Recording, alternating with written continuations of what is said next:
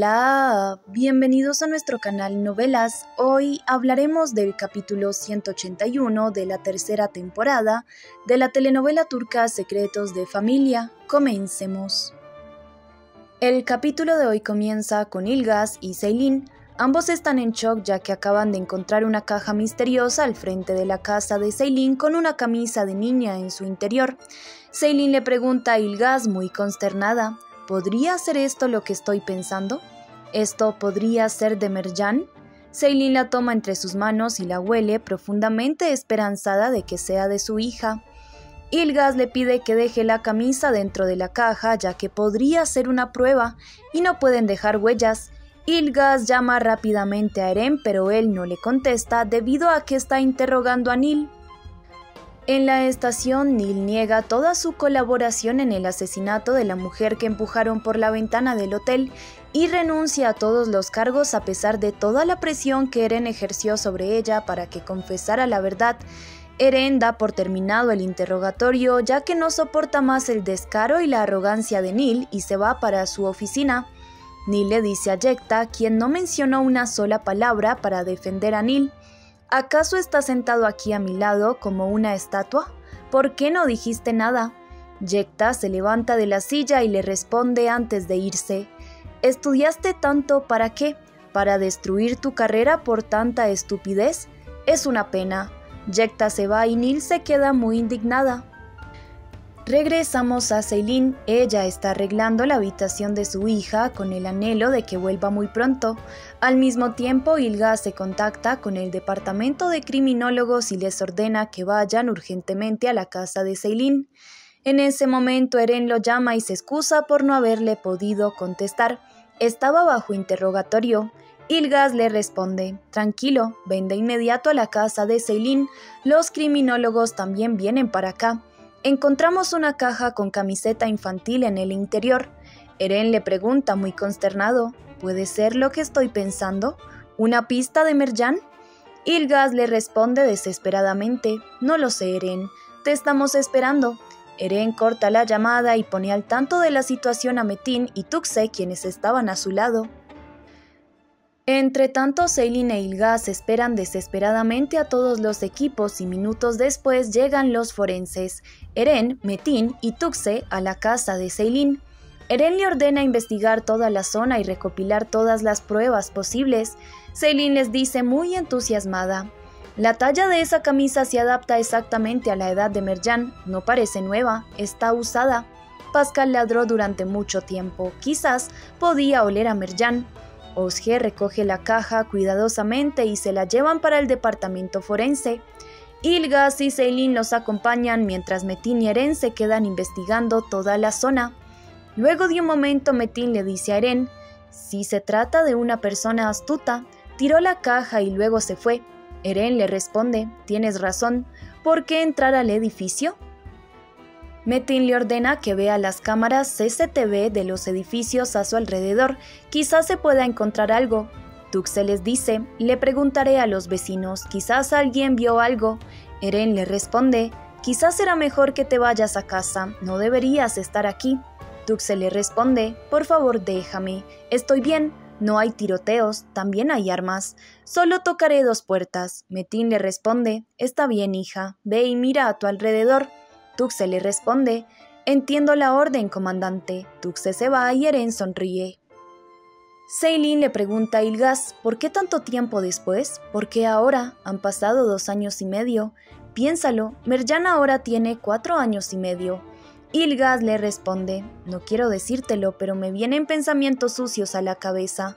Puede ser que alguien esté jugando con nosotros en un intento de socavar nuestra atención y pensamientos. Esta es la forma más segura de enfurecernos y volvernos locos. Somos fiscales. Estamos en un caso donde hay dos muertos. Como hemos visto, Neil es muy buena mentirosa. No lo sé. Solo digo que deberíamos estar preparados también para esta opción. Cuanto más alto subamos, más dura será la caída. No soporto ver más tu destrucción, no podré mirar esto. Ceylin le responde, Está bien, gracias por haberme avisado, pero nuevamente en lugar de creer que Merjan está viva, piensas en otras opciones. Por supuesto sé que podría ser un juego, sé todo esto, pero lleguemos a esta conclusión si no obtenemos ningún resultado de la camiseta, hasta entonces que cada uno se ciña a su propia opción, que cada uno se prepare para el resultado en el que cree. Minutos más tarde revisan minuciosamente la caja misteriosa y examinan si hay rastros del dueño de la camiseta. Ilgas y Celine no soportan más la angustiosa espera cuando de repente Osge encuentra una hebra de cabello en el interior de la camisa. Ella les dice muy entusiasmada, esto era lo que estábamos buscando. ¿Es castaño oscuro? Celine le responde muy ilusionada, como el de Merjan. Ilgas les pregunta, ¿podemos determinar la edad? El forense le responde, lastimosamente no, pero podemos saber si el cabello está fresco o si se ha arrancado hace mucho tiempo. Celine les pregunta muy ansiosa, ¿cuándo podremos saberlo? Osge le responde, lo más pronto posible sería 9 a.m. Lo comparé con tu ADN de inmediato. Lo más probable es que me tome un poco de tiempo, pero prometo que haré todo lo que esté en mis manos. Ilgas le responde, por ahora iremos a la estación y veremos si Eren y los demás encontraron algo. Ilgas llama a su padre y le da las buenas noticias. Metin se llena de esperanza al igual que Eren y Tuxe y anhelan que esa hebra de pelo pertenezca a Merjan. Al salir del departamento, Celine le dice muy contenta a Yekta, quien los estaba esperando, Hemos encontrado un cabello, estoy muy feliz. Yekta le da un fuerte abrazo muy contento mientras Celine le dice que ahora comprobarán si ese pelo pertenece a Merjan, también es largo. Yekta le responde, por supuesto creció. La pequeña Merjan es terca igual que tú y no se lo cortó. Celine sonríe y le responde, sé que mi hija está viva, sé que ese pelo pertenece a mi hija. Yekta le responde, por supuesto que está viva, tal como lo dijiste desde el principio. Seilin le contesta, así es, encontraremos a mi hija. Yekta le responde, la encontraremos, pídeme lo que necesites. Ilgas solo se queda mirándolos muy conmovido por la fe que tienen de encontrarla. Seilin le pregunta a Ilgas, ¿los demás han encontrado algo? Ilgas le responde, nada aún, Creen que la caja fue arrojada desde el costado de la calle donde está la terraza, pero no hay cámaras de ese lado. Yekta le pregunta, ¿y qué pasa con los edificios vecinos? Ilgas le responde, están siendo examinados ahora, van a la estación con todo lo que encontraron. Yekta les dice, yo también investigaré por mi cuenta, manténgannos informados. Seilin le da las gracias, profundamente agradecida por todo su apoyo. Pasan las horas y Metin, Ilgas y Celine no paran de ver las grabaciones de las cámaras del edificio de Celine para ver si logran encontrar alguna pista de la persona que dejó la caja. Al mismo tiempo, Yekta se reúne con un investigador a quien contrata para encontrar a la persona que dejó la caja misteriosa en la terraza de Celine. Entre tanto, Celine no para de ver el reloj y las horas le parecen eternas para poder conocer el resultado del laboratorio. Hasta ahora son las 3 de la mañana y se va al baño a lavarse la cara. De repente entra Neil y decide molestarla. Ella le dice seriamente, probablemente estés feliz, ¿te sientes mejor? ¿Te has calmado? Celine le pregunta muy confundida, ¿de qué estás hablando? Neil se acerca a ella y le responde, Estuve muy cerca de llevarme. Celine le pregunta seriamente, ¿de qué estás hablando? ¿A quién me quitaste?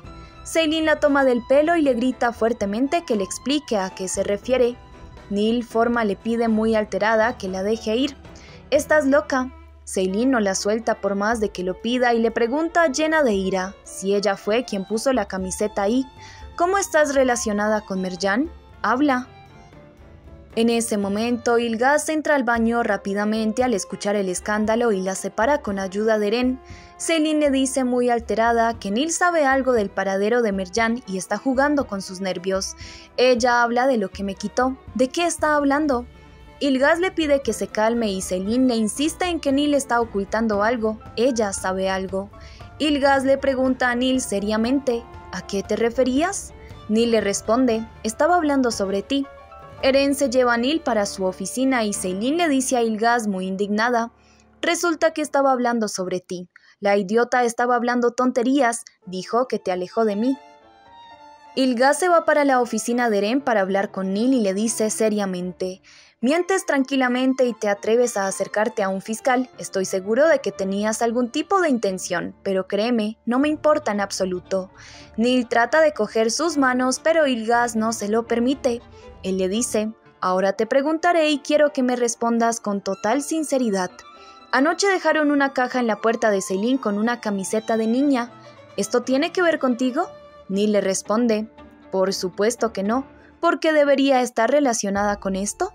Ilgas le responde, es posible que desees distraer a los fiscales que manejan tu caso, confundirlos. ¿Lo hiciste? Neil le responde, no. Ilgas se levanta de la silla y le ordena a un policía que la lleve a su celda. Al mismo tiempo, Eren está con Celine al frente de la estación y le dice, Cualquiera en tu lugar habría hecho lo mismo. Han pasado tantos años y algún maníaco te puso una bomba. Te entiendo e incluso iría más allá. La agarraría del cuello y la estrangularía. Celine solo guarda silencio sumida en sus pensamientos y luego de un momento le pregunta, ¿Crees que ese cabello pertenezca a Merjan? Eren guarda silencio y Celine le dice, Yo creo que sí, lo siento con todo mi corazón. Eren le responde, si Dios quiere, es lo único por lo que rezo ahora. Seilin le contesta, ella nos está esperando en alguna parte. Eren le responde, está bien, entonces levántate, vamos a buscar a Merjan. Seilin sonríe y regresan a la estación. Al día siguiente, Metin les informa a Ilgas y Seilin que la teoría es correcta. La caja fue arrojada al jardín por el patio trasero, pero desafortunadamente no hay registros de cámaras en ese lugar y tampoco encontramos huellas dactilares en la caja. En conclusión, no tenemos pruebas en nuestras manos sobre la persona que plantó la caja. Seilin les dice muy afligida, ya es la hora, voy al laboratorio y se va junto con Ilgas. El capítulo termina con Ilgas y Celine. Ambos llegan al laboratorio muy ansiosos por conocer el resultado. Osge les da buenas noticias y les dice que el cabello pertenece a Merjan y la prueba es fresca. Celine se queda sin aliento e Ilgas se queda en shock, ya que él había renunciado a la idea de que su hija estuviera viva. Celine llora de la felicidad mientras se repite una y otra vez. Merjan está viva, mi hija está viva, sabía que estaba viva. Siempre lo supe. Ilga se siente profundamente abatido por su cargo de conciencia y al mismo tiempo Eren recibe las buenas noticias. Él sale corriendo por toda la estación lleno de dicha gritando que Merjan está viva y le dice a Metin muy contento que el pelo pertenece a Merjan. Metin se alegra mucho por la noticia y le da un fuerte abrazo. Bueno amigos, eso fue todo por hoy. No olviden suscribirse y activar la campanita de notificaciones para que no se pierdan de ni un solo detalle de esta intrigante historia. Gracias por preferirnos.